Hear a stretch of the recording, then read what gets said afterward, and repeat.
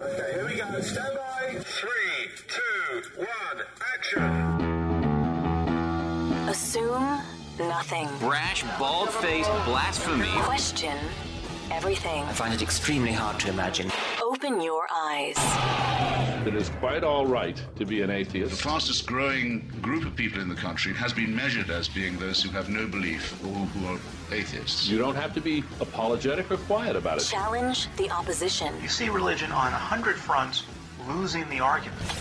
And start thinking. This is The Thinking Atheist Worldwide.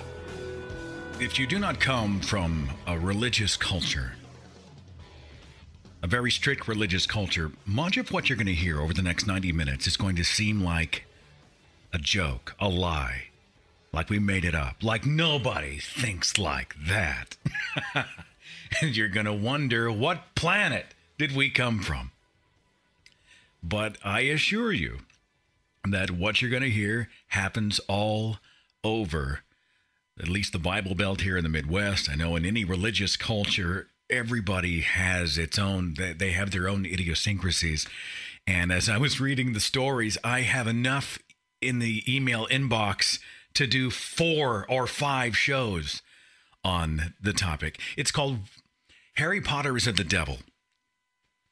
And it plays to the fears that many of us uh, were given by our authority figures, our parents, our pastors, our teachers, our Sunday school teachers, whatever. And they saw evil in everything. Now, granted, they didn't know a whole lot about the headlines themselves where evil may exist. And I'm not talking about evil as in evil spirits. I'm one of those guys who I use the word evil to define an action or a mindset. If I see genocide happen in my mind, that is evil. It is not uh, an evil spirit that makes it happen, but I use the word. Some people don't, but I do. I think there are some people who are evil people. They are continuously motivated by um, very, you know, very dark intentions. I don't uh, prescribe any supernatural uh, reasoning behind it, but I'm just saying I'm not afraid of the word. Okay when I was growing up, evil was everywhere. You can't watch certain television shows because they're evil. You can't listen to certain music because it's evil. And people would just sort of grab these random things out of pop culture and then you know, hold seminars on it. They travel the country, and hundreds, if not thousands, would attend as they were warned about the scourge of Satan in otherwise benign things. Our toys and our music, our television and movies, they're all of Satan. And they'd get everybody frothing at the mouth, and they'd go home and do something that most rational people would never otherwise do. A great example is the music. Uh, I remember I graduated high school in 1986, and um, I was in junior high. So what is that? Early 80s. They I went to a, a private Christian school, right? I was and and they were it was good people. They were good people. they meant well. You know, sometimes the worst things are done with with the best of intentions. And they brought somebody in to warn us about evil, specifically in rock music. Now, contemporary Christian music was still a fledgling at the time. Uh, for those who aren't familiar with, with the phenomenon of CCM, contemporary Christian music is my background. I was a, a Christian broadcaster for 12 years, and we played. It's like an emulation of what is happening in pop radio and rock radio at the time. So, it, what happened was is that the church decided it was a great tool and a great alternative to the worldly music out there. So they had Christian radio and eh, guitars and drums and guitar solos and drum solos and you know and honestly the production values these days because most of those Christian record labels are owned by large music corporations who smell a buck and they know that it is very very profitable. Many times you can't tell the difference between the production values of Christian music and pop music. I mean, it sounds really clean. But growing up, especially, it was pretty rough. It was pretty rough. And uh, they, they wanted us to listen to the alternative. They wanted us to listen to good, wholesome, Jesus oriented Christian music because rock music was of the devil. They had people come in to tell us that the beat of the song was an emulation of some kind of a satanic drum beat. I, I don't even know where they got that. Uh, someone uh, invokes these African tribes that that would call down the spirits, and rock music emulates that same beat. And we, you know, we were minnows. We kids just sit there with our with our eyes open. Really? Oh man, it's evil. Oh, little did we know, rock albums weren't just bad for you frontwards; they were bad when you played them backwards. Now, for those of you under the age of twenty-five. An album is a disc with grooves. like I know you know what an album is, but I always when I say album, people are always like, an album? Man, he just dated himself. They were prevalent. Albums were everywhere. And people would play them backwards to listen for subliminal messages hidden in the grooves. And um, I, I, brought some examples with me. Um, the, the most infamous one is probably from the Beatles' White Album. Uh, there's a portion of the album that says Revolution number nine. It says number nine, number nine, number nine. And when you play it backwards, it says something supposedly entirely different. Here's the cut. Number nine, number nine, number nine, number nine, number nine, number nine, number nine, Neanderman, Neanderman, Neanderman, Neanderman, Neanderman. Now, what it's saying is turn me on, dead man, according to the theologians and experts who all gathered us into a room. There was a guy on uh, television in the 80s. You can find this clip on YouTube. The, the audio recording is not great, but uh, let me make sure I get his name right because uh, we had a different guy. His name was. Um, it'll, it'll, come to me in just a second. Uh, he, it was a Christian TV station in Kansas City. And John Muncie did an entire show on the evils of backward masking. And he played a song by ELO called El Dorado. I'm sure you've heard of the song if you follow any kind of 70s rock music. Anyway, he does a clip. Here's an audio clip from that piece. Let me play this song. This is uh, on the El Dorado album, the song called El Dorado. Obviously,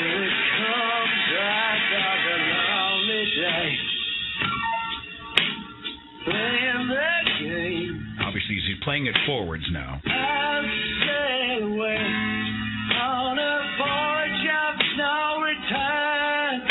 Here it is now. Same thing backwards.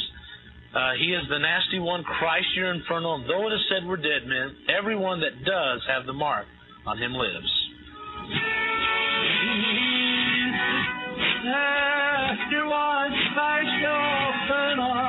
He is the nasty one. Christ, you're infernal. And it follows with the phrase, everyone who has the mark will live. Well, come on. but we were kids, and it's scary when you play that stuff backwards anyway. When you're a child and you hear it and you're programmed to receive these messages satanic, it freaked us out. We all had goosebumps. We were and got the chills. Jeez, it's Satan. It's the message of the devil. There's a whole litany of examples out there. Stairway to Heaven, Led Zeppelin allegedly c- contained passages of satanic stream of consciousness stuff. Stuff like, Happy is the man who makes me sad, whose power is Satan. Uh, a Child is Coming by uh, Starship, Jefferson Starship. Uh, apparently, it, it, has Son of Satan over and over and over when played backwards. Queen's another one, Bites the Dust. You play it backwards, it says, Start to smoke marijuana. Styx, Snowblind, Satan, move through our voices. Black Oak, Arkansas. When electricity came to Arkansas, play it backwards, it allegedly said, Satan, Satan, Satan, he is God. He is God. He is God. When you play it backwards, it's evil. We were programmed. So you know the the next thing we did when we got brave enough is we got copies of the albums, went home, played them all backwards. Well, you know the great way to ruin a stylus on a record player, play everything backwards. Michael Shermer has a great bit. He did a speech at uh, TED about patternicity, about uh, how we seek out patterns, and uh, he he played series of uh, different songs with supposed backward masking in it, and no one knew what it said. But then he pasted the words up on the screen, and you could hear it immediately. You know, you oh now I know what to listen for. Now I know it's evil. It's intentional. This could not have happened by accident. And there was a whole litany of these songs, and and the and the parents and the teachers and the pastors went crazy. You should have seen them. They'd encourage you to bring your albums, your rock albums, to church. They'd put them in a big pile and they would burn them. Just burn them down. We've got a story coming up here, if I get to it, about uh, someone who burned a Harry Potter book and something weird happened. This is, I mean, what rational person would, would do that? It's amazing what religion makes you do. Anyway, thank you so much to everyone for the calls and the emails. I see my switchboard right now is absolutely jam packed. I promise you, I'm going to get to as many of these as I possibly can over the next 90 minutes. Rick sent me an email and he said, When I was in high school back in the 70s, my father was a fundamentalist. Calvinist minister with an interest in the occult, which has a rich history in rural Vermont where I grew up. As a teenager, I was into music and brought home a copy of Black Sabbath's self titled record, the one with the witch looking person standing in the woods on the cover. As my father confiscated the record from me and burned it in the fireplace, he explained in all seriousness it was dangerous for me to have that record because each copy had a demon with it. In fact, he said he'd heard that the original photo used on the cover did not have the image of the witch in it. The witch only appeared as each copy was duplicated. That witch was the image of my personal demon. As I listened to the music, I was allowing that demon to enter me, a nefarious plot by the forces of Satan. What makes this memorable to me is that my father really, really believed, and he was terrified. For him, the exorcism might as well have been a documentary. That story sums up my childhood experience. Gidget sent me a letter and said, I grew up a Church of God in Christ centered home. My mother at the time was an evangelist missionary had a war on anything and everything not in the Bible. Of course, Harry Potter was on the do not read list, as well as Casper the Friendly Ghost. But the Holy Ghost was okay. Uh, Pokemon, Charmed, and other popular shows, books, etc. At the time, I knew it wasn't real. Now, mind you, before my parents' divorce in 95, the crazy God talk boiled down to me not being allowed to have the batteries not being allowed to have the batteries inside my Teddy Ruxpin bear because it was saying subliminal evil messages. I can't wait to hear your story. Let's go to the switchboard and start with area code 270. Hi, you're on the Thinking Atheist podcast. What's your name? Uh, DJ. DJ, I'm so glad you're part of the show. You have an evil that you were warned about as you grew up or in your culture? For four years, even though I was a Catholic, I they sent my parents sent me to a fundamentalist uh, school, and what I discovered there was uh, not openly were book were people like uh, Voltaire, um, who wrote my favorite book, by the way, uh, Candide. Um, Voltaire, um, uh, Emerson, Thoreau, uh, they were banned, but also even many books that you know would otherwise be considered Christian or religious or even television for that matter be um, be be um, uh, we were warned about as being dangerous. Uh, probably the best example of this was a was a book called The Robe. I don't know if you're familiar with that. The Robe is a book, and it was turned into a movie in the 1950s with Richard Burton. It's a very Christian movie. I can't really see. You wouldn't necessarily think there was anything wrong with that but it was considered evil of all things because the person who um, wrote it was a liberal minister, we generally weren't even allowed to listen to music. We were explicitly banned to listen to music with instruments. That was another bad thing, even if it was religious music. Are you guys Church of Christ or what? Yes, it was a Church of Christ school. I never understood that. You know, if you read the scriptures, you know, it's like praise him with the trumpet, praise him with all these instruments, and yet you go to a Church of Christ church and they don't want any instruments in the Sunday services. I never understood that. It's something I've never quite understood myself, but uh, it's something that I eventually was able to get off of. My friend, I'm glad you escaped the evil and managed to set yourself free. Thanks for the call. Mm-hmm. Area code 919. Thank you for waiting. You're on the Thinking Atheist podcast. What's your name? My name is Crystal. Hi, Crystal. Thanks for uh, for calling the show. Yeah, right. your show is awesome. You have been accosted in your life by evil, by the by the Beelzebub himself. What happened to you? Well, I have a story about someone who was actually one of my best friends, but uh, we're not anymore because he got crazy religious, basically. and so he uh, lives with his girlfriend and um, her kids. And in the last 14 months, he said that he changed and that Christ like spoke to him and all these things. And um he said that he took all symbols of the devil out of his girlfriend's house, like for their kids. And he said that Pokemon was a symbol of the devil and that uh Disney was evil. And so all the symbols like that reminded him or that he thought were from the devil, like he went through the house and took them out. Subjectively, he just decided what was influenced by Satan and just tossed it. Well, his interpretation, he has this whole other interpretation of the Bible, which he thinks is the correct version, which I've never really heard of. So he took all these things out of the house, which he said were from the devil. And what was her reaction? I'm not really sure. I never really got to know her that well. But it was sad because we were actually really good friends, but he just was really discriminating against me, so we're not even friends anymore. I, I can think of a few people I know who just went so crazy. Uh, a friend of mine calls him cray cray. Wow, that's you've that exactly him. He said in the last 14 months he just suddenly changed and that he studied the Bible and he had these mystical experiences of of uh, he said a demon talked to him and I didn't believe him and then he got really mad at me for not believing him and the the friendship ended and we were having all these arguments on Facebook about it. Yeah. That's cray cray. You know what I'm saying? Yeah, so basically his uh, things from the double are Pokemon um and Disney. Well, thanks for sharing and uh, appreciate you listening to the show. Thank you for the kind words. Thank you so much. Uh, Your show is awesome. Keep it up. Thank you so much for calling. I had Denise send a message. She said, My mother thought breastfeeding was evil. Breastfeeding? She said, If God wanted women to breastfeed, he wouldn't have created bottles. You hear that long pause? because there's nothing to say.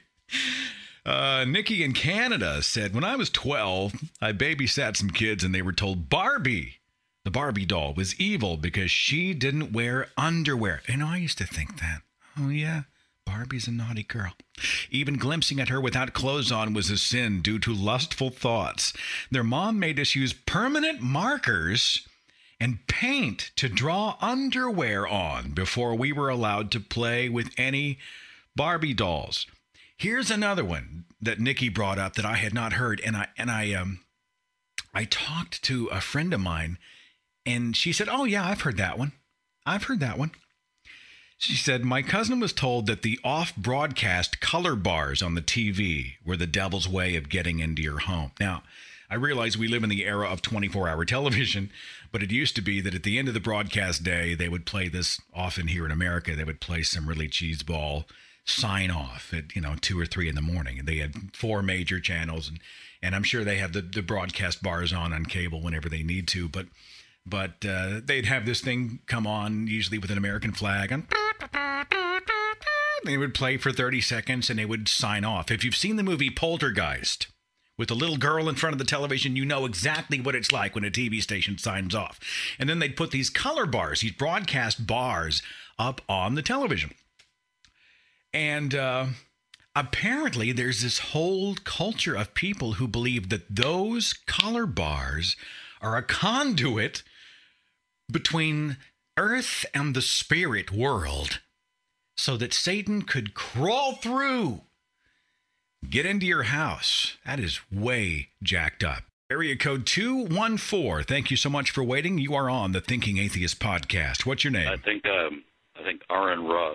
Aron Ra, my hero and mentor. Dude, I'm so, I, I, I was hoping you were listening tonight. I, for those who were who were wondering, Aron and I are, are, are friends, and, and I dropped him a line and said, "Hey, I, I can't Skype. We are going to talk about some stuff for the Reason Rally." And then I said, "I can't I can't really talk. I'm doing a podcast." So I shot him the link, and lo and behold, now I know you were into some pretty wild stuff growing up, Aron. But can you speak to this whole people reading evil into every benign thing on planet Earth? You got something specific? Oh, yeah, well, hey, I played Dungeons and Dragons. You got, Well, you got evil, a high man. level character in Dungeons and Dragons that indoctrinated you into witchcraft. They warned us about it when we were in school, something about the role playing nature of it and the dice were evil and people would have these parties and be up all night and they they had us scared to death of D&D. And looking back at it, I just feel so they were dumb. using the five you know? elements of witchcraft. Remember the, the Pythagorean solids? Those were represents five elements of witchcraft right there. I don't, I've never played the game. I'm not familiar with the game, but I hear echoes of what we heard back in the uh, the 80s about D&D uh, with a game called Magic. Are you familiar with it? Magic the Gathering? That's the wussy game for modern nerds. That wasn't that wasn't for guys like us back in the day. I'm amazed at how much real evil was ignored in favor of. Do you, I mean, do you remember the big Procter and Gamble scare in the 80s? Oh yes. Um, when when the the symbol, the logo that was that was supposed to look vaguely like a horse is supposed to have a six six six in it, and I remember all the protests led by surprise surprise Pat frickin' Robertson. And you talk about the evil that was overlooked. I mean, wait, I don't want to get on to Pat Robertson. I'm going to let that go for a moment. We'll we'll we'll deal with him another time. Yeah. Because you could do a whole show on him. was it Robertson was the one who said 9/11 was was God's punishment uh, for allowing homosexuality in America? I mean, I, And in 1994, he urged his 30,000 some odd followers to go out and kill homosexuals where you find them. really? Yes. He said the words? Yes, and he he meant that you if you kill homosexuals, you will earthquakes. The reason that the San Francisco earthquake that had just happened prior, or Malibu, one or the other, the reason that the damage in Malibu was so much worse than a hurricane that hit someplace like in Haiti was because it, it wasn't because every square inch of Malibu was more expensive than the entire island of Haiti. It was because God was visiting his vengeance on the United States because the United States was the only country, according to Pat Robertson, that allowed homosexuals to live. Meanwhile, we're playing records backwards. you know, you know, we're throwing away our Pokemon toys. You got to be kidding me. By the way, Aron Ra is my full-time guest for next Tuesday's show, and I, I mentioned, I, and I know you have it on your calendar, but this is a verbal reminder that that uh, next Tuesday night, Aron and I are we're going to talk in depth about the Reason Rally. We're going to talk about what he's been doing with the Magic Sandwich Show. We're going to talk about what he's been doing in Texas. We'll probably, you know, make fun of Rick Perry. I know he's not running, but No, he's not running for you. I live in Texas. He's coming back. you got him as governor. but uh, I look forward to a chance to sit down when I don't have a, an uber full switchboard and just talk about kind of the state of the craziness of the world and see what's happening in your world. By the way, uh, check out his YouTube page, A R O N R A, R N Raw. Man, thanks for calling the show. It was good to talk to you. Talk to you later, man. Take it easy. All right, let me go in depth on this Procter and Gamble thing real fast for, for those who have no idea what I'm talking about. And this is a symptom of a larger problem, okay? And because we are trained in the faith to see evil everywhere and to not do our own homework, right? We take the word of our spiritual leaders, our pastors, our teachers, our parents, right? So if somebody says something is evil, we just knee jerk and automatically there are major consequences. Well, Procter and Gamble had a logo. It was um, it was actually originated in the mid 1800s. It was this crude cross uh, that that barge workers painted on cases of Procter and Gamble star candles, and and it was just to identify them. People back then were not all that literate. They they used pictures more than uh, than text as identifying symbols on the crates on the dock so they could see what they were. Procter and Gamble later changed this symbol into a trademark. It was a man, a half moon man overlooking 13 stars. Now, you got a moon, you got stars, you got the number 13. That's a recipe for evil. So people made the leap from this to Satanism.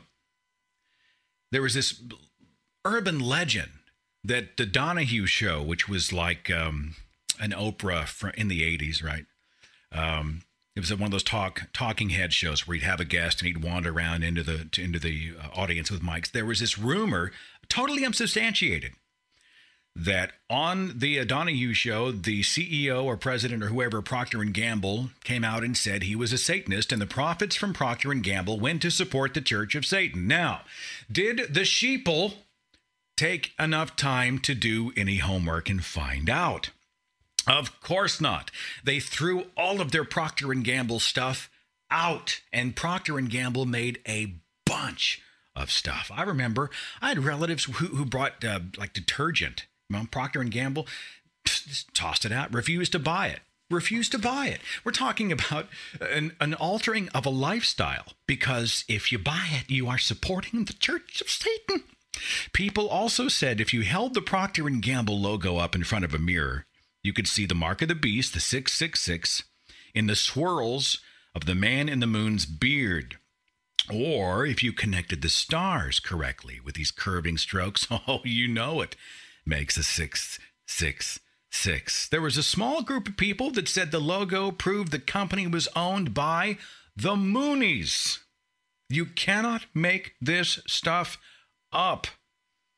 At one point, Procter Gamble was getting 15,000 phone calls a month in the early 80s from people who were freaked out that they were serving the Church of Satan. They actually had to change the logo. They discontinued the moon and stars in 1985 just to shut everybody up and there's still people who won't buy Procter and Gamble. You want to know why? because somebody told them that it's evil. Area code 801. Thanks for waiting. You're on the Thinking Atheist podcast. Who's this? Brandon. Thank you for calling the show. What do you have for us? When I was little, my mother always told me that everything was well music that I listened to, rock music, video games, comic books was just made by Satan.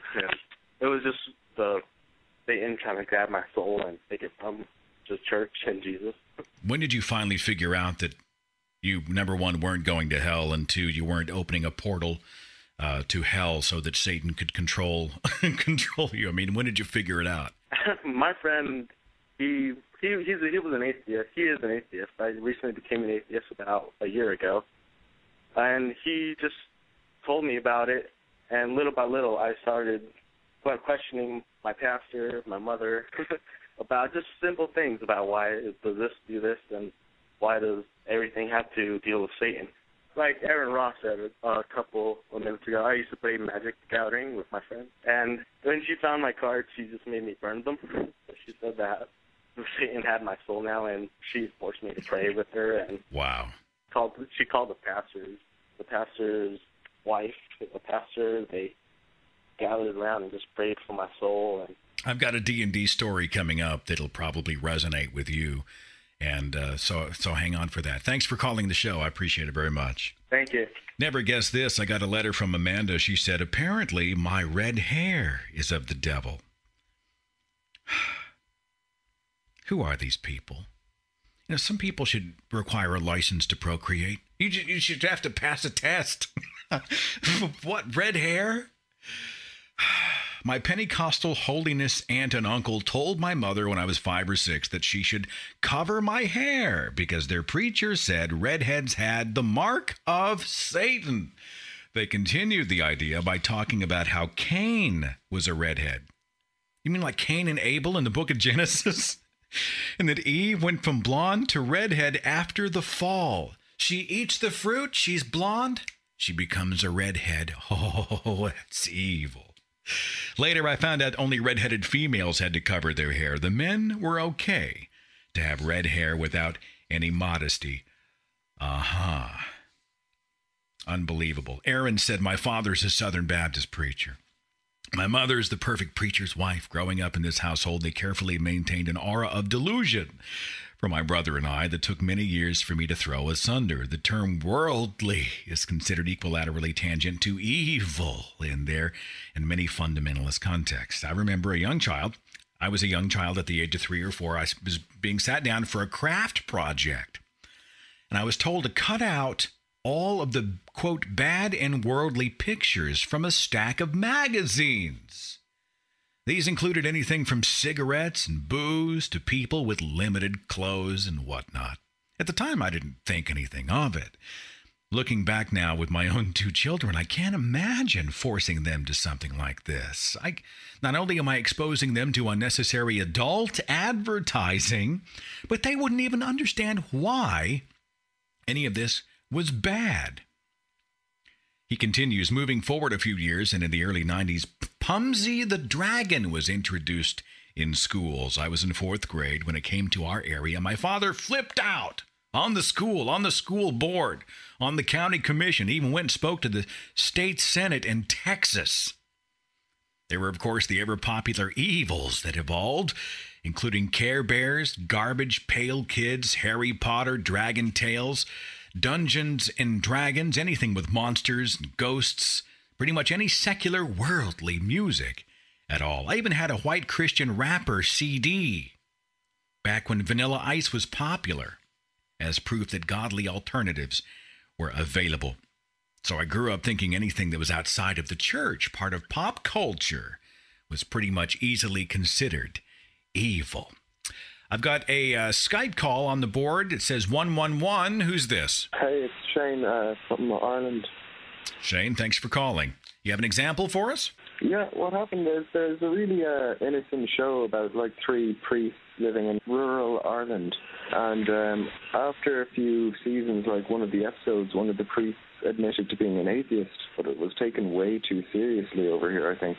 The entire show was just kind of making fun of Christianity to begin with, but as soon as one of the priests admitted to being an atheist, it became all serious all of a sudden. Like uh, you had one priest that was extremely smoker, one that was just a complete idiot, and one who pretty much just drank all day and couldn't say anything else but drink. What's the name of the show again? Oh, sorry, it's uh, Father Ted. Father Ted. I wonder if I can find some clips online. I posted a few um, links on the forum chat. I'll check it out online. I'll look around for that. All right, thanks. Take care of yourself. Jessica said, You may or may not have read the book Satanism, The Seduction of Mer- America's Youth, written by Christian talk show host Bob Larson. That's the guy. Bob Larson's who I was thinking of. Uh, I've been reading uh, through it for the laughs. he talks, this is totally true, by the way. Jessica's dead on. He, he talks about the dangers of Satanism and how he's helped guide many a youth gone astray. For example, teenagers who listen to Slayer and youth who participate in ghoulish games like D&D even told a 12 year old boy that because he played Bloody Mary, he'd invited the devil into his life. This man should be prosecuted for psychologically abusing an entire generation. Now, this was published in 1989. It leads me to believe that there was a massive hysteria around this time about Satanism. You would be correct, Jessica. Mr. Larson frequently references murders and suicides as being caused by bands, like rock bands or games. Even though I find the idea of Satanism humorous, I have real concerns about how the religious view it. They think it's real. They think the devil has power. It concerns me. Instead of looking at the reality of a problem, they think a good cure is church or prayer. Bob Larson even compiled a horrifying list of signs your child is dangerously involved with the devil. There's eight on this list. Let me just read them, and uh, you tell me if your child is possessed by the devil. Number one, your child's grades drop dramatically. Two, isolation, aggression, and anger. Three, a wider circle of friends is exchanged for a select group belonging to the developing coven. Coven? Four, sports and extra, extracurricular activities are avoided. Oh, he doesn't want to play football, honey. He must be in league with Lucifer. Suicidal thoughts are often expressed or written down in distorted poetic forms. Six, secret agendas are established, often involving unexplained activities during late night hours. You want to know why teens are running around late at night? It's because they're freaking teens.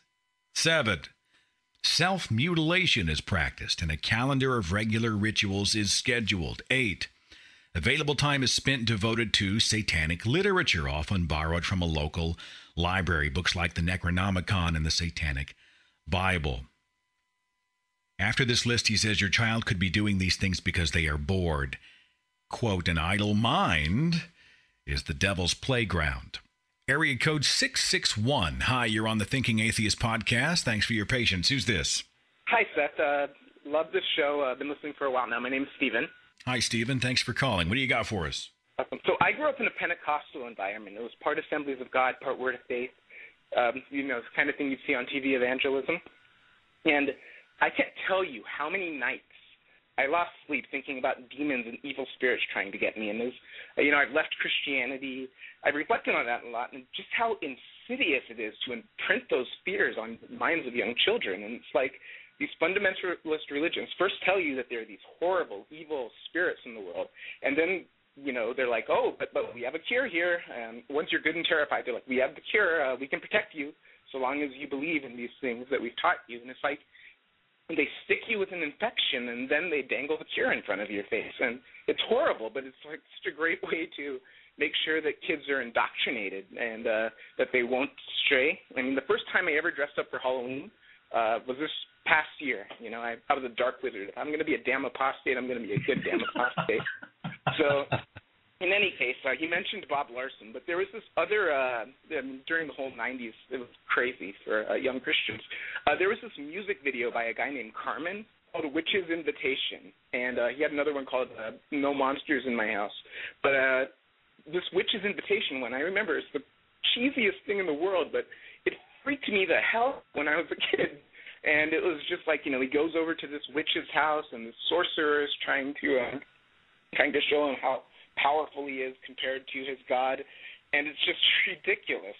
There was also um a lot of things that they just told us were demonic and evil. And something that comes to my mind is uh the ouija boards that parker oh. brothers put out when i was a kid like this was in the 90s for me, and I remember seeing the commercial. My whole family was like, "Oh, this is so evil, this is so demonic." And now I'm thinking about it, and I'm like, "Wait a minute." So Parker Brothers manages to harness all the mystical powers of these dangerous, evil, supernatural beings, and the best thing they can think to do with them is have them like move a little triangle across the board, and not like you know attack Milton Bradley headquarters or uh, you know, go after uh, Nintendo so kids will play more board games. Let's do anything practical. Let's just have the demons move the triangle on the board. Everybody check uh, Parker Brothers symbol, see if it's got a moon and some stars and some stuff on it, because, you know, obviously they're agents of the Church of Satan. Yeah.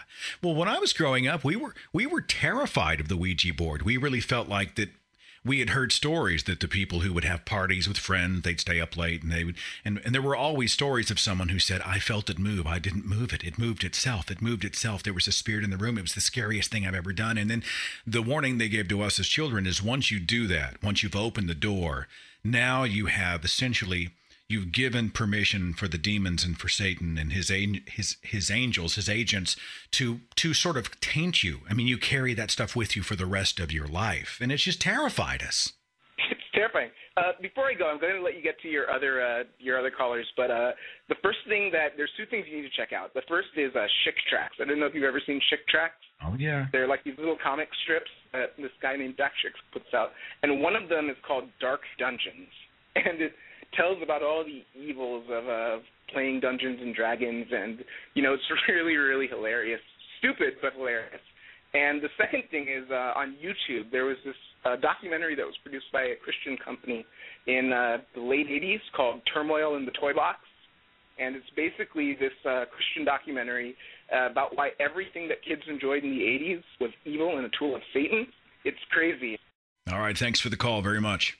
Thank, thank you, Seth. Keep up with the work. I remember the uh, the Chick tracts. I feel like I'm I'm having to give a like a backstory on every icon, every topic that comes up. But I realize there are those who have no idea what some of this stuff is. So bear with me.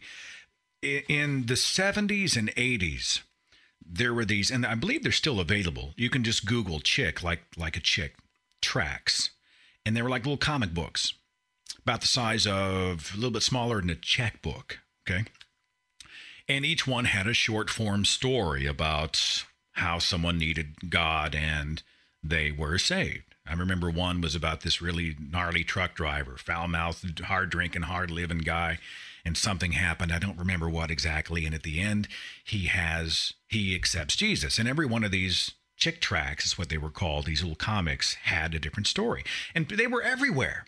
They, they'd hand them out on Halloween instead of candy. Religious people would throw those in people's candy bags and just piss them off. you know, uh, but I mean, they were they were everywhere. Everywhere. And then there were all sorts of little tricks like that. Like they had some tracts. I don't know if Chick did these, but they looked like a $20 bill folded in half, and they'd lay them on the ground and you pick it up and it says something along the lines of, hey, have you repented and accepted Jesus as your Savior? So you thought you were found a 20 on the ground, you pick it up and it's the message of salvation. It's supposed to be sort of a covert way for the Holy Spirit to guide you toward that 20 on the sidewalk so that you can grab it and pick it up and you'll read those two sentences and realize you have been sinful in your ways and you must accept the Lord to have eternal life in heaven with Him. Speaking of Chick, I saw this on their website. They were promoting a DVD called Harry Potter Witchcraft Repackaged. Let me back up before I, I talk about the DVD because if we're going to title a show Harry Potter is of the Devil, we need to talk about Harry Potter.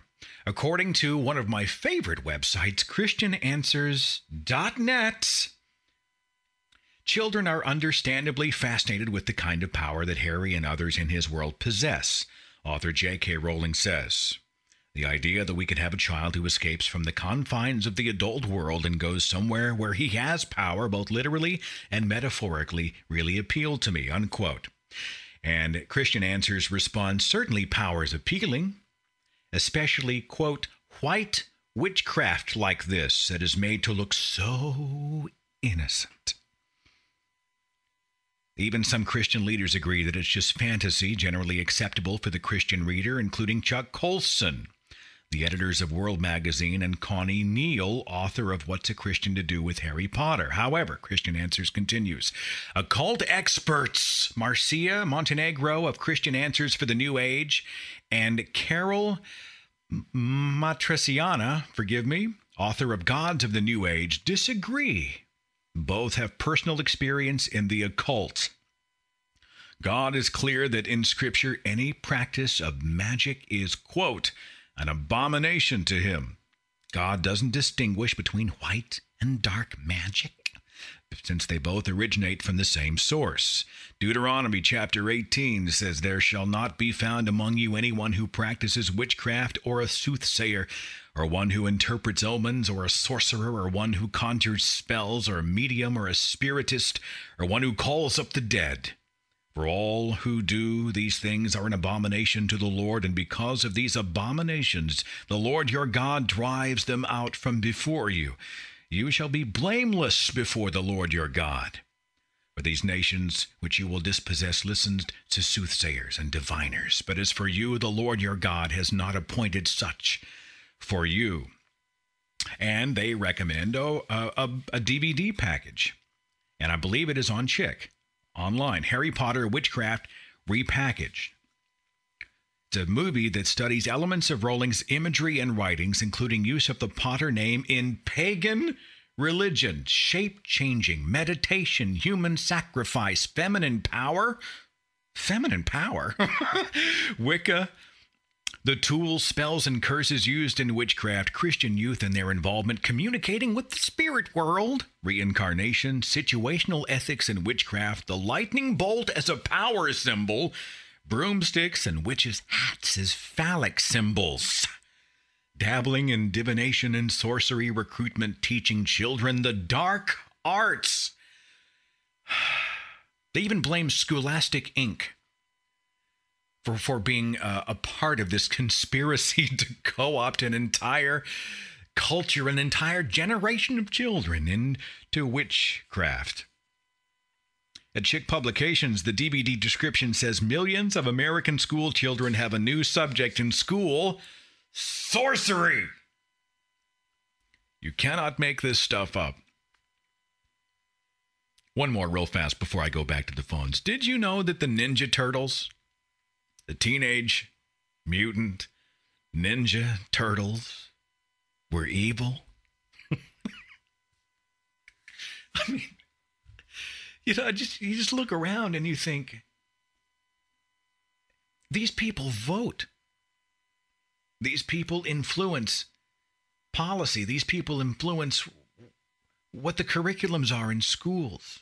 They duplicate their own fears and superstitious thinking and craziness on generations. They're afraid of the Teenage Mutant Ninja Turtles. There was an evangelist, and I, I sought his name. I tried to find out who it was. There was this YouTube clip that has been circulating, and I couldn't find out who this guy is, but it's it's old. it's like a 20 year old clip. Okay. And he is warning about the Ninja Turtles. And they actually took a bunch of these, and I think they destroyed the toys. But I have an audio clip from that segment. The truth of the matter is, all kinds of children's cartoons incorporate ideals that are contrary to Christian beliefs. As we began to look into the toys of today and the cartoons of today and the video games of today, we began to realize something. Our children are being evangelized with another gospel. A gospel of outright Hinduism, occultism, humanism. Uh, the first thing I noticed looking at the table is the abundance of these uh, Teenage Mutant Ninja Turtle fellas their hero or their guru, who is a rat named Splinter. You heard it here first, folks. A rat named Splinter is the hero of this cartoon. This is one of the uh, the villains of the Mutant Ninja Turtles. Now, remember, folks, when we say villains, uh, the the hero uh, is using white magic or Eastern mystic uh, good powers, such as Star Wars taught us the good side of the force, and the bad guys are using the bad powers, the black side of the force. But they're the it's, same powers. Yeah, it's the same powers exactly. When you look at it from a biblical viewpoint, it's uh, white and black magic, which is a fallacy, as we uh, all know right here. Forgive me for the quality of the recording. It was taken apparently off an old VHS videotape, and it definitely shows. And people, people were freaked out about the stupidest stuff. Jewel sent a message and said, "I couldn't wear shorts." Ever. they were considered provocative and not Christian. I wasn't allowed to listen to the radio either. I remember we were in Christian school. We, we, used to go to play basketball games. You know, your high school plays ball, right? We used to go to these ball games, and we played a Christian school in our conference that was even more conservative than we were. They were way conservative as a Church of Christ school. So they come out, they, they come out with their cheerleaders, and I kid you not, their cheerleaders had skirts that touched the floor. So they're out there going, We've got spirit. Yes, we do. We've got spirit. How about you? Meanwhile, they all they look like they're going to prom. Jeans weren't allowed at our school, except on Fridays. And I mean, for the girls. No, girls couldn't wear jeans. The guys, it was fine. Ah, guys can wear jeans anytime. Girls, no, except on Fridays. Why? We ask. Well, jeans are what? A little can be a little too provocative. Hello? Look, let's just say that let's just go down that little bunny trail. Anything can be form fitting and provocative. There what what is it about denim?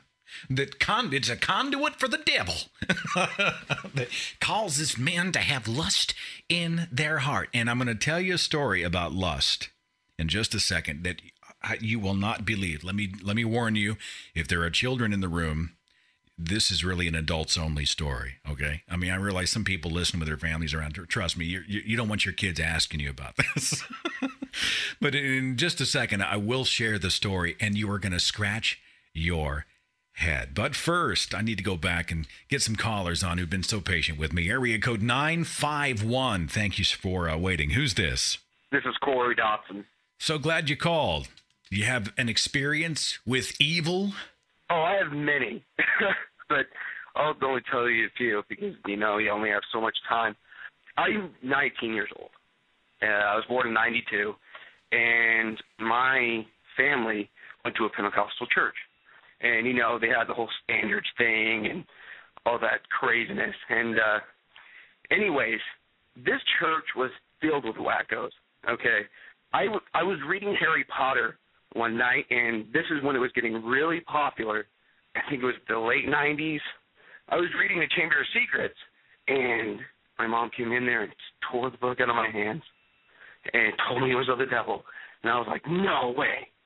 And I go to I went to Sunday school, and then they had a big lesson on it about how Harry Potter was of the devil. And I was like, oh my God, are you serious? and they told us and how the how the spells in Harry Potter are actual spells that witches use. I'm like, what? No way. And I, I was freaked out because I was reading the book and I was praying to God. I was like, God, please don't send me to hell. Wow. And uh yeah, no, it was wacky and you know, I used to get in arguments with kids because, you know, I was a good church boy. Pokemon. Pokemon was another thing that I had to throw all my Pokemon cards away because they were pocket monsters. Monsters are the devil. And uh that was the reasoning, by the way. I got to move on. Thank you for the call, though, very, very much. I appreciate it. You bring back some memories for me, man. Um, Rick said it was the mid 1980s. I was about 13 years old when the Christian right started its campaign against the game Dungeons and Dragons. You see a pattern? This this thing was hugely warned against in the 80s especially. I'd been playing D&D for a few years by that point, Rick says. I didn't even think there was anything wrong with the game. My friends and I played warriors and wizards and elves and so on. Every week we vanquished the dragons, orcs, and sure, the occasional demon or two, but that's what they were for. They were evil villains to be destroyed, they were monsters. I enjoyed, mostly, I enjoyed playing the dungeon master, the person in control of the game. Now, he goes on to explain that his mom had a big Jesus experience. It's too long for me to cover, but let me skip down. He says, I, It didn't take long for her to start dragging me to one of her born again churches where the pastor jumped up and down, spoke in tongues, preached fire and brimstone, and slapped people on the forehead to cast out demons and heal them. At first, I didn't know what to make of all of it, but it was important to my mom, so I kept going. Rick continues, Then the crazy really started. She decided decided that all the problems in our family mostly that she couldn't get along with her loser husband and they were constantly fighting. All the problems in our family were being caused by the demonic game I was playing after school with my friends. So one day when I came home from school, she gathered up all of my D&D books, put them in a wheelbarrow, tossed on some lighter fluid and set flame to them, all while chanting praise Jesus and we cast you out demons like an idiot. Rick continues. I was, of course, forbidden to play the game anymore. That didn't really stop me. I just went to my friends' houses to play. I was understandably mad at her. I'd spent my own money on those books, which at the time were worth hundreds of dollars. Today would be worth thousands or more to collectors. I had some of the original first edition books. Rick, you're killing me. What really made me mad is that she made this decision based on what she'd heard from other people. She'd seen the various news reports on TV about Dungeons and Dragons possibly being linked to teen suicide. Religious leaders like Pat Roberts and Jerry Falwell were speaking out against it. And of course, her pastor had preached about the dangers in church. All she needed to know was their D&D was evil, plain and simple. I suggested she sit in sit in on one of our game sessions so she could see how we played.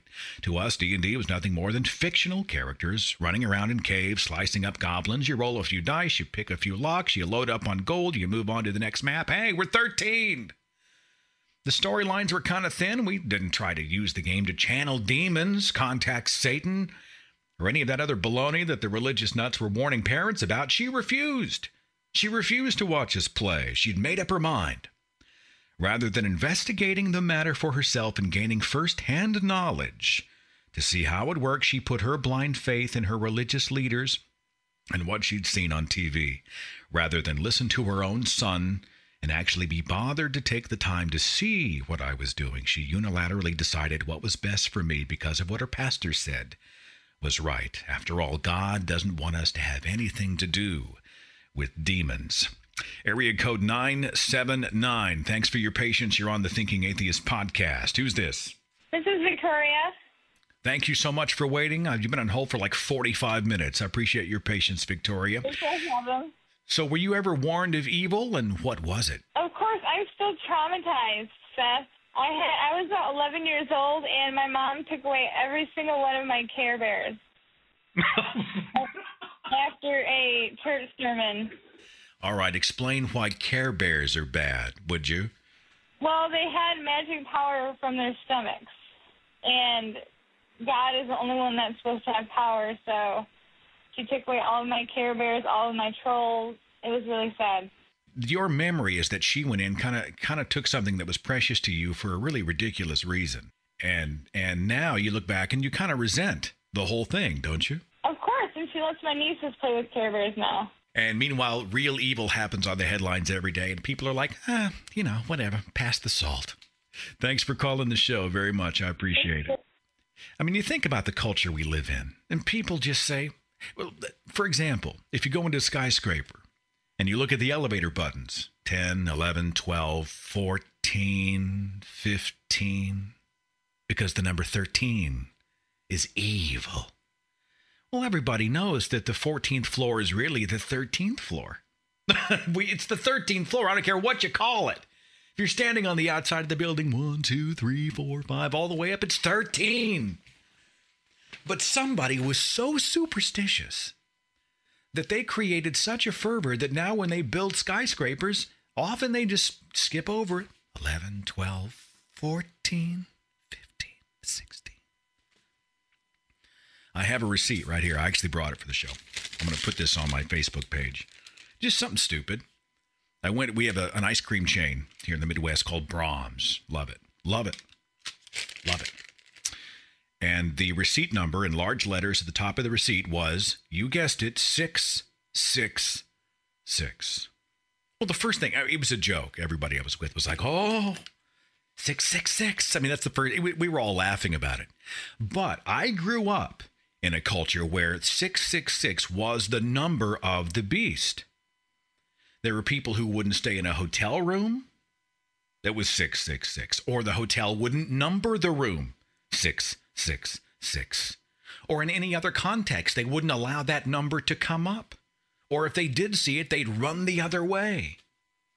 I've seen people, I kid you not, who purchased something over the counter and the total came to $6.66 and they bought a pack of gum to make the total something else. How jacked up is this world? If you have kids nearby, you might want to just send them on vacation for just a second. Just just go go play with your toys. but I got to tell you this story, okay? And and I I heard the story last year from a friend who went to this church. And he told me what prompted him to leave the church. And I I mean I I I really trust him. I really do. I, I, I trusted that he was telling me the truth, but it was such a surreal story that that weird part of you inside goes, "Wow, did that really happen?" I mean, I, I don't really don't question him, but it was so out there. I really thought, "Wow, you wow, did that did that happen?"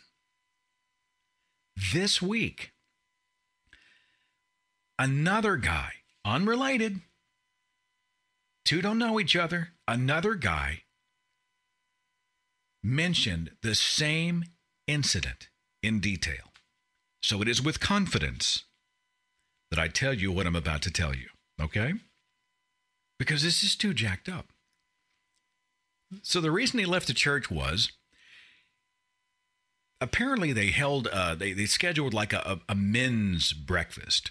And that's what churches will often do is they'll get together and it's called fellowship time and it's time for everyone to get together and hang out and they usually incorporate some Bible study and prayer time. All right, and this is this is what they did. Well, this one was for the men.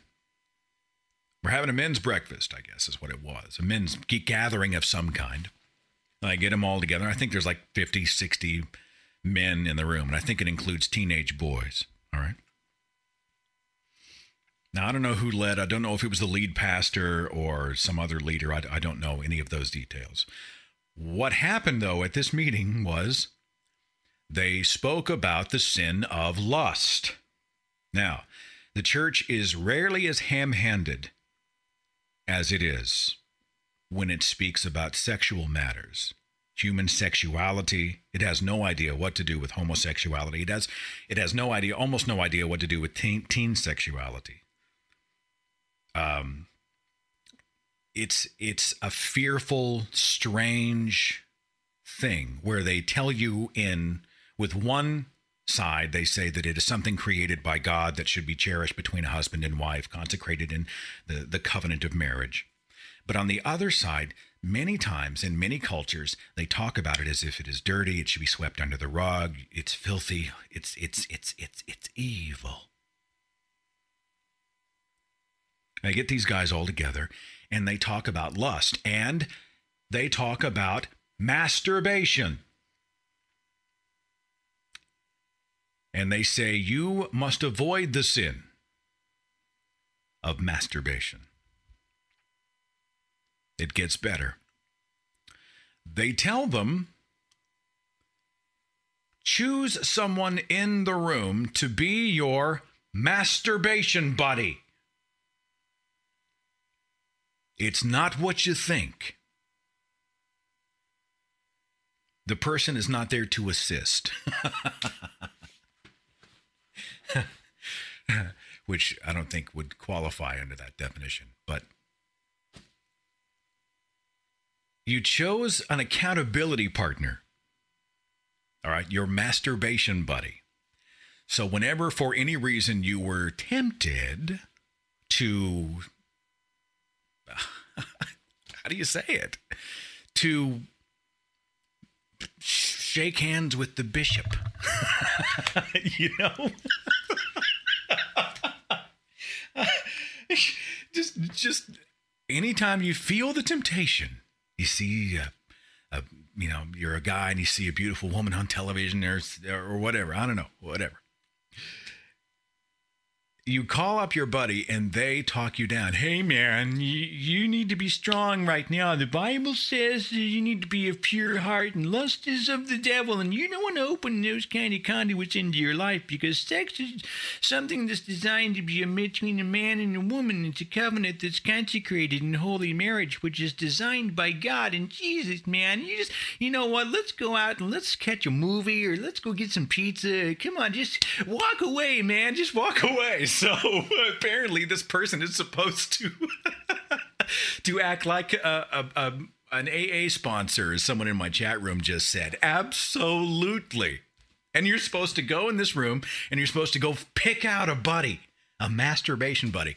As I understand it, according to both of these guys, a whole group of dudes, like 25 guys, just got up and just walked out of the room. they just left.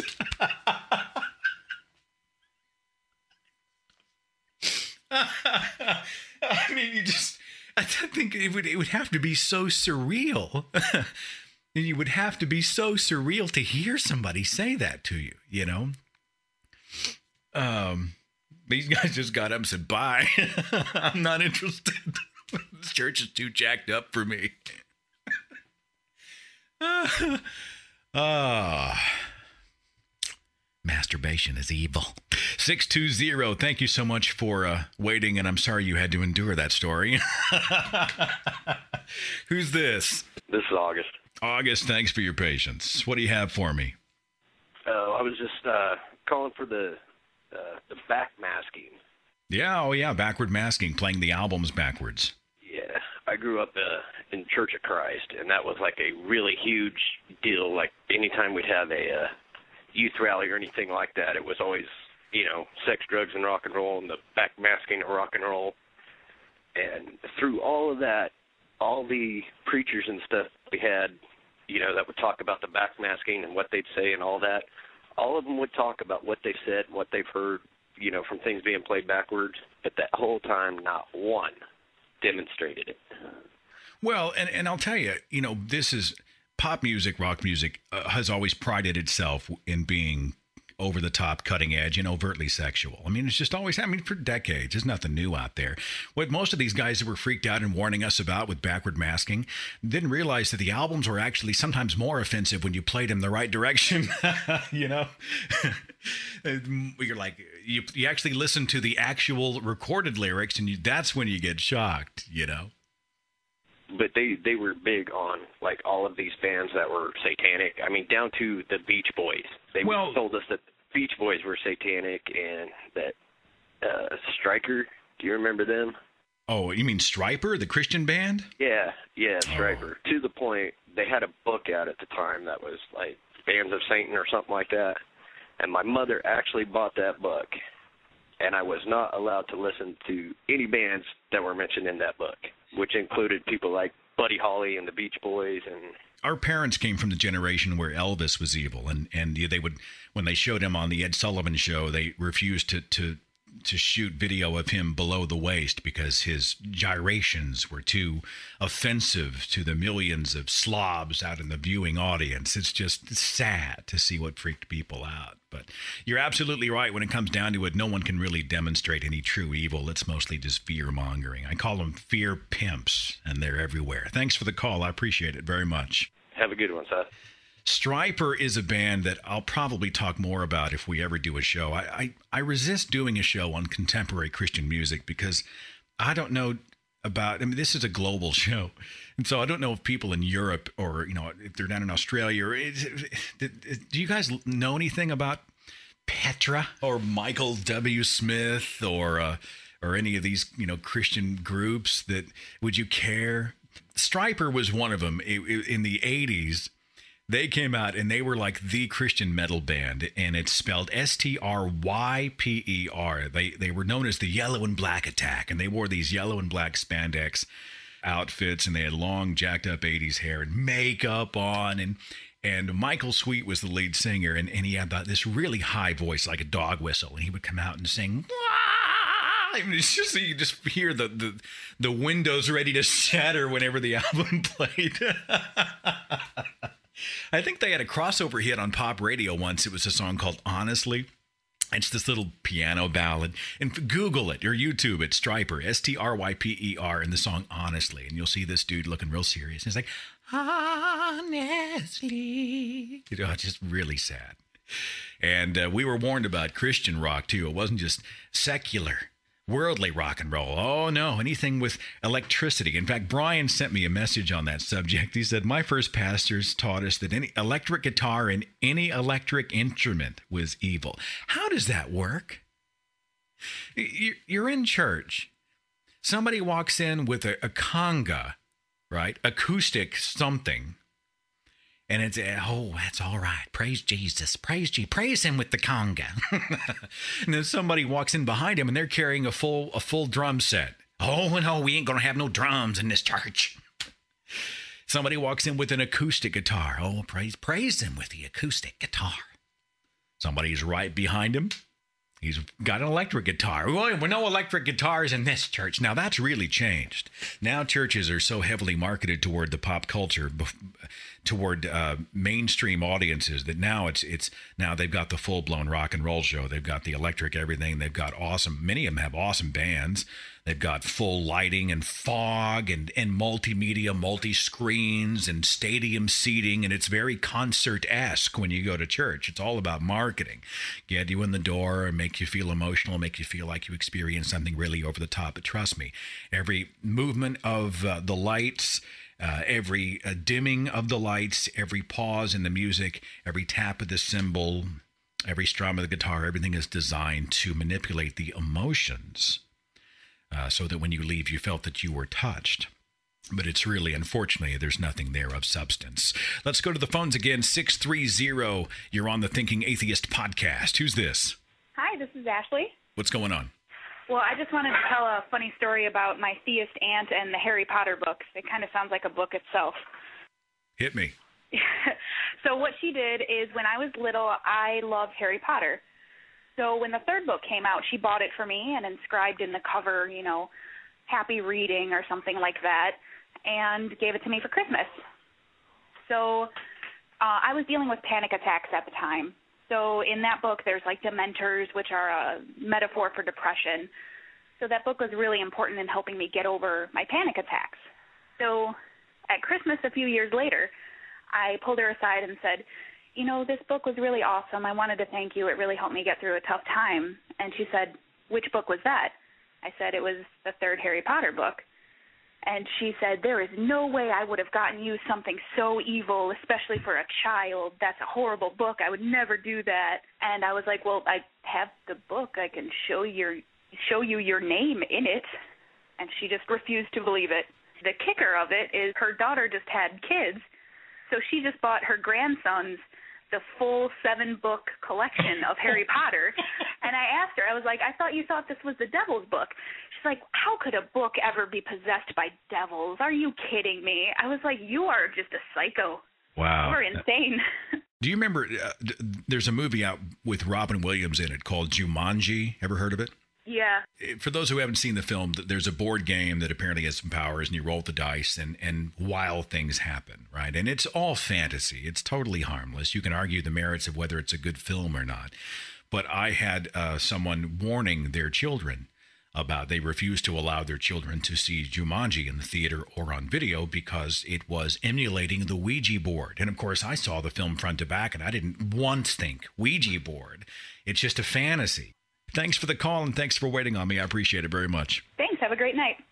I have time for one more. Area code 805. You are on the Thinking Atheist podcast. Who's this? Hi, this is Jasper. Jasper, what do you have for me today? All right. Well, you know, I'm not really that old. I'm, uh, you know, going to turn 18 soon, and I just have, you know, just even this newer, uh, you know, just even in the early 2000s, you know, there was this card game called uh, Yu-Gi-Oh, and you know, it was a, it was a harmless game. It just has, you know, little monsters, you know, kind of like what Pokemon is. And you know, I was really young, and my parents made me burn them. It really affected me a lot, you know. So when they burned them, paint that picture. Did they they put them in a in a box and take them out in the yard, or I mean, wh- what was that ritual like? Oh well, you know, they made sure I watched. You know, I had a really big collection. You know, they had uh, they actually sponsored you know little competitions in nearby malls, and uh, I always told my parents, oh, you know, I'd like to go to one of these competitions until they really paid attention one day, and they said, oh my goodness, you know, those are the devil's cards. You know, It's amazing how Satan can inhabit a tiny little, what are they, three by four little piece of paper, and and use it to infect the minds, hearts, and actions of an entire culture of people. So, do you play anything like that now? Uh, you know, honestly, after that, it uh, I really never even got back into those things. and It really affected me because uh, right now I'm pretty much the only atheist in my family, and uh, even today, when it comes to uh, you know, like you were saying, metal bands, uh, they have Christian metal bands. You know, the lyrics literally say, you know, get on your knees and pray, and uh, even things like that. You know, oh no, that's Satan's music. It's it's a difficult web to get out of. I mean, when you're a kid, you're an impressionable child, and you're programmed to see evil and benign things everywhere you go. It takes a while. Many many people still struggle even to this day irrationally, and they know it's irrational. And and yet, when a certain song plays, or or they see some sort of a pop culture icon, they they get a little bit of a you know twitch in the eye, and they freak out a little bit. You know, on the inside, it's bizarre. I'm glad you broke free. Go, uh, you know, go do something evil, would you? All right, thanks for having me. Thanks for the call. I appreciate it very, very much. I don't know. You know, I, I understand a, a parent's desire to protect the child. But when did we look at the world around us and project our own fears onto everything else? You know, Pokemon, really? The purple Teletubby, really? Magic the Gathering, Dungeons and Dragons, playing albums backwards. I'm sorry, you could take the Mormon Tabernacle Choir on vinyl and play it backwards, and somewhere in there, the law of averages says you're going to hear something that sounds like. Is that the devil? Or is it coincidence? A weird jumble of nouns and consonants that happen to join together to, to form a word that you interpreted subjectively as the devil. We fight this kind of thing all the time where people just project evil onto everything and everywhere. And I'm not saying we shouldn't have filters up. I'm not saying we shouldn't have, have uh, discernment and judgment as far as what we do and do not allow into our lives. But geez, Harry Potter? really? Are you kidding? Anyway, we may have to do another show on this down the pike. I've had way too many calls and emails, and unfortunately, way too many calls and emails I was not able to get into this show. But I thank you for listening, and I hope you have a wonderful week. Aron Ra is my guest next Tuesday night, 6 o'clock Central, on the Thinking Atheist radio podcast. Follow The Thinking Atheist on Facebook and Twitter. Watch dozens of original videos on the Thinking Atheist YouTube channel. And visit our website for resources, links, contact information, the editor's blog, and more. TheThinkingAtheist.com.